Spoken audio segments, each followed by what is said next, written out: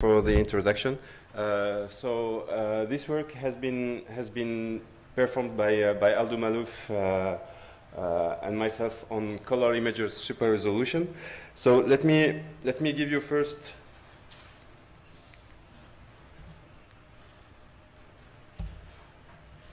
The, the outline of my of my talk. So after an introduction, I will I will describe you what what happened in uh, in this in the work of this paper. Then uh, I will present you uh, some results, some a deep, a deep experimentation on the state-of-the-art uh, super-resolution algorithms thanks to objective and subjective measurements. And then I conclude with, with the, some, some remarks regarding the future. Um, so, as you know, uh, there's terminology in, in image processing. Low resolution means that you have a, small pixel den density, uh, so you don't, you don't have good details of, uh, of your objects. Uh, when we talk about high resolution, it means that we have high density. And when we, when we talk about super resolution, it means that we will go from small image to from low resolution image to high resolution one, thanks to several, several properties. So why we have focused on, on this work? Uh, we, have, we had several problems, uh, especially for two applications, uh, digital cinema, uh, because, you know, uh, we have plenty of, of, of small or low resolution content that we need to, to display it at 2K or 4K or maybe, maybe in the future in 8K uh, resolution. We don't need to recreate the content and we can, cannot do it, especially when, when it comes from the archives. So one of the, one, the, one of the most important focus was how to extend or how to increase the size of, of archives in order to display them, in order to, to let the archives, uh, to, to, to transform our archives in something that we can display, that we can project in cinema theaters. Uh, the second application is reg regarding the video surveillance. So the idea is how, was how to increase the size of region of interest it can be, for example, a face, it can be some persons, and you know, on, well, with video surveillance in general, the, the quality of images is not really, really good, and for, for the legal evidence images, we need sometimes more resolutions in, in order to, uh, to rec recognize the faces or to have, to have a, a very, very good quality or a good quality legal evidence image. So there's three families of super resolution methods, interpolation-based methods, reconstruction-based methods, and learning-based methods. So the work presented here is within the first family, so interpolation-based uh, method.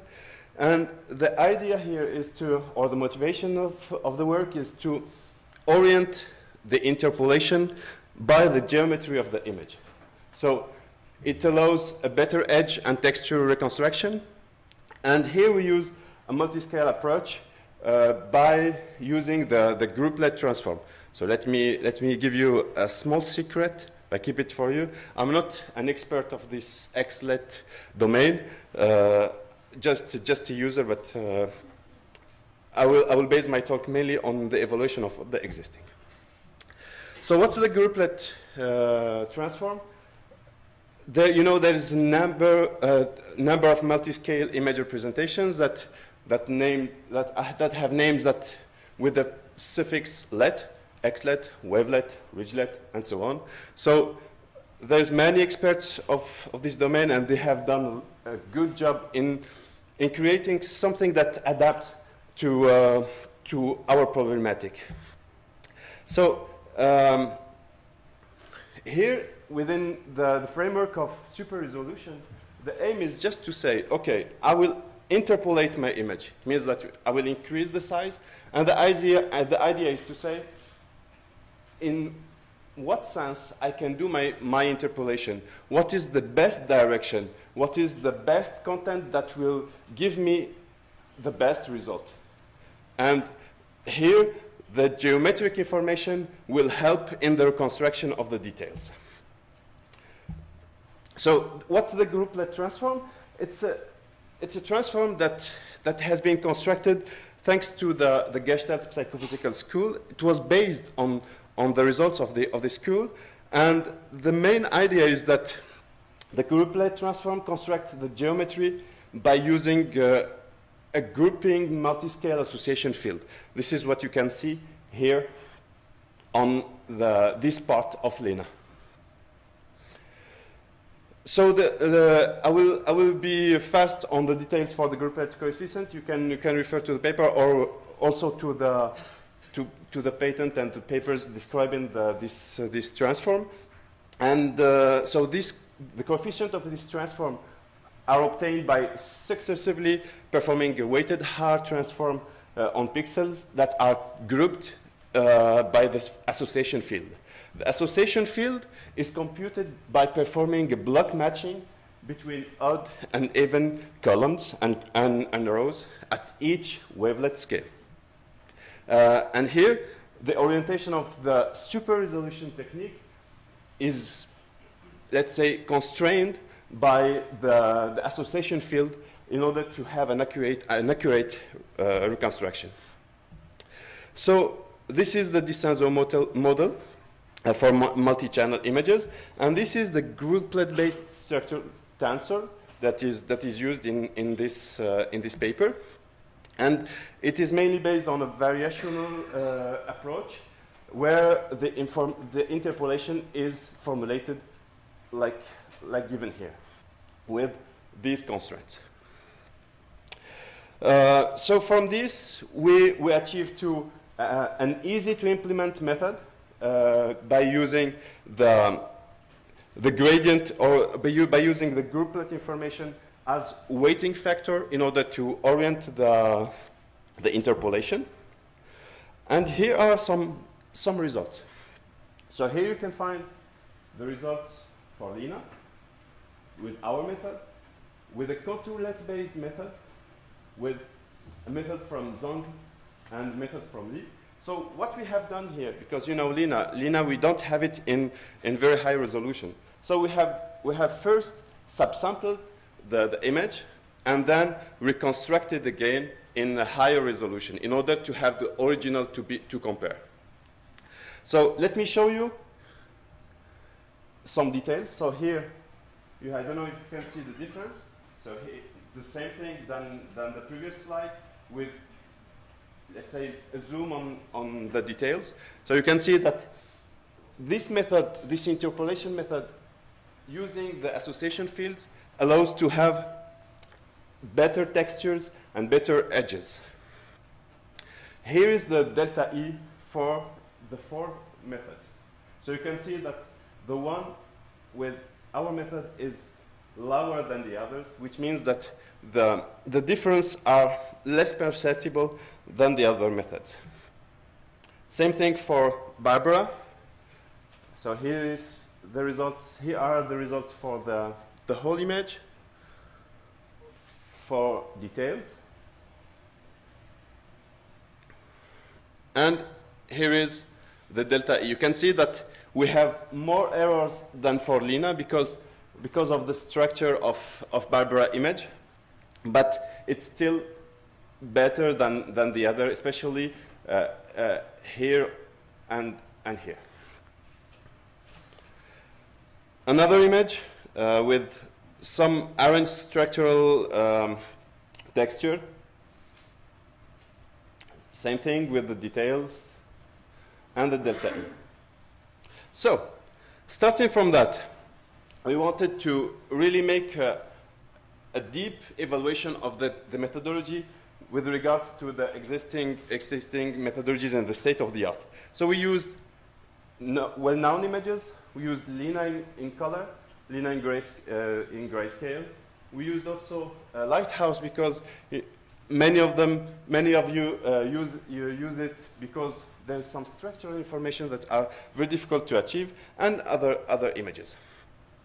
So for the subjective, you know that in our lab in Poitiers, we have uh, subjective testing room, uh, which is constructed uh, using, normal, using the ITU standards, and in which we, we, deal, we deal with all the work on quality assessment, human visual modeling, and, and so on. Um, we use a, a display uh, from Dell with these characteristics that has been calibrated using the I1 device.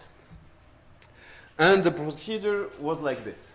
We had a single stimulus approach, means that we displayed the image uh, without reference because the question that we ask to the observer is, imagine you receive an image of low resolution on your computer, you try to see it at, at, at higher resolution, what will be your, your, your scoring of this extension or this interpolation?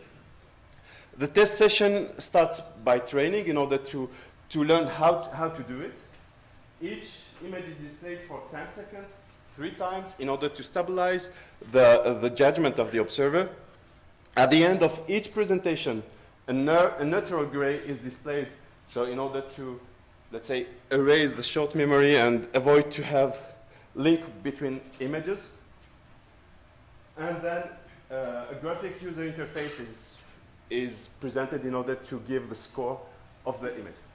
So the scores were between 0 and 5, so between very bad and very good. Uh, so each subjective experiment was composed of 198 stimulus, 6 images, 11 algorithms.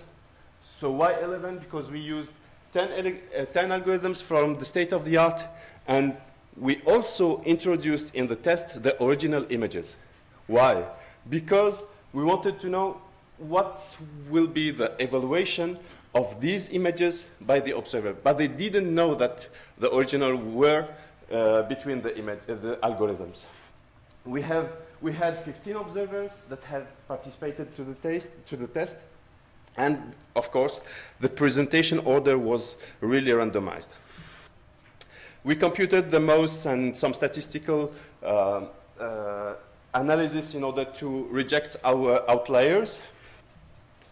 And from the objective ev evaluation point of view, we have used maybe, I know that these metrics are not the, the best, are not optimized, but why we use them? We use them in order to, beca because they are available, everybody can use them, and just to allow people to have a comparison.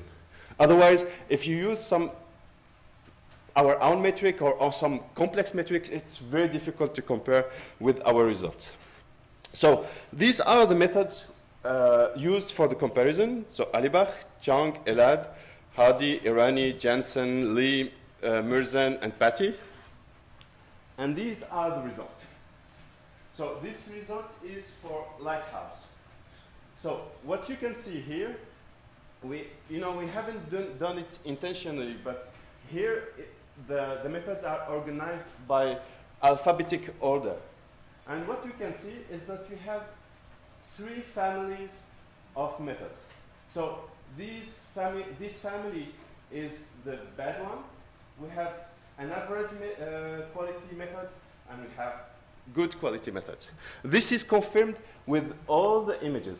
So here for, for Castor, here for, uh, for Iris.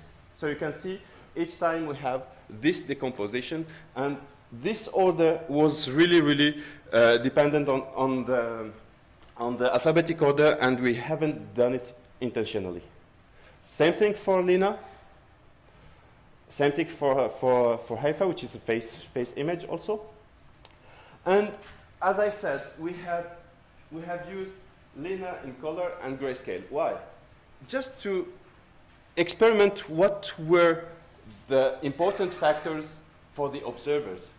And you can see here that the color wasn't really a very, very important factor in the evaluation of the observers. It means that for this kind of, of uh, evaluation, people uh, or observers were dealing with other factor, factors like edges, textures, but color was very, uh, very, let's say, had very few importance in this, in this case.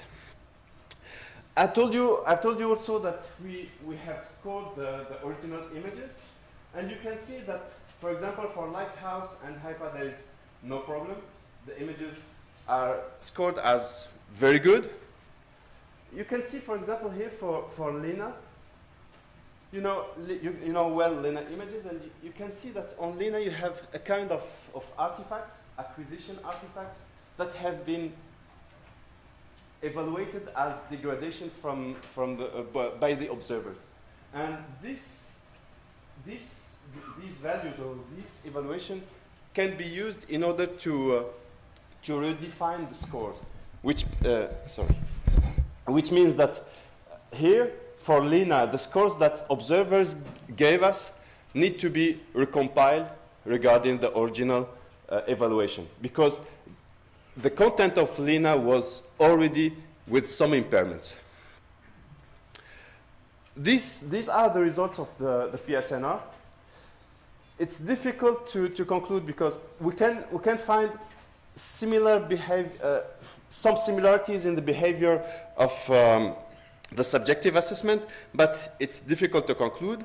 Uh, for, the, for the SSIM, we can find the good quality method, the average, because you know it's really, really difficult to, to have low values of SSIM, and this is the, the most, uh, let's say, drawback of the SSIM. But what we can see here is that some methods are really dependent on the content of the images. Here, for example, Hardie and Jensen, you can see that depending on the image you have, the result will be different. So really, really dependent. Um, let's conclude now. So what we have presented here is an, uh, an improvement of uh, existing geometrically driven interpolation technique. So that has been validated subjectively and objectively. Um, and also you have seen also that in terms of color difference, uh, there is some, some improvement. And uh, we need, we need also, so we, need, we still need some, some work in order to, to improve, uh, to improve the, the way we weight the, the interpolation. Thank you for your, your attention.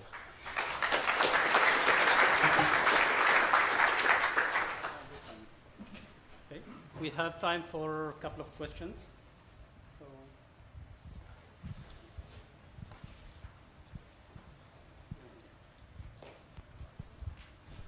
Okay, nice uh, evaluation. Um, I'm, I'm, missing a little bit the learning-based systems, the, the, the, methods which are uh, promising, gives, uh, promising results lately. Uh, say it again, because uh, you know it's difficult okay. to hear you here. The learning-based methods. The Ah, the learning. No, uh, here uh, the question is how how it uh, how it uh, performs with regards to hours. So here uh, we have mainly focused on on interpolation techniques because learning based you need you need to have to have some neural network uh, work to do to do on them. So they perform. We have tried some some of them. They perform good, but it depends on your learning process. So it's really dependent on the set you have, you have done the learning on it. But you can uh, adapt it more to your uh, uh, image uh, uh, content. Yes, sure. But you know, for example, if you do it for, for, for digital cinema, digital cinema is very, very va variant content. You, you cannot have a data set, a learning data set that can have all the content of, of what we have in the archives. It can go, it can go from from the black and white images to some flicker uh, artistic results to, to uh, new movies, and it's difficult to make the learning in this case.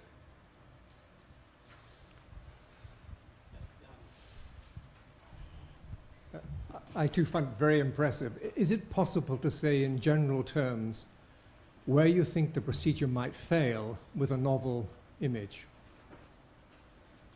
Why the procedure fails? Uh, might, might fail. fail. What, ki what kinds of artifact would you expect in general with a novel image? Uh, it can fail if you have um, some evidence, uh, some, some artifacts coming, for example, from, from compression. If you have a blocking, blocking effect, this can be increased and the result will be really bad. Mm.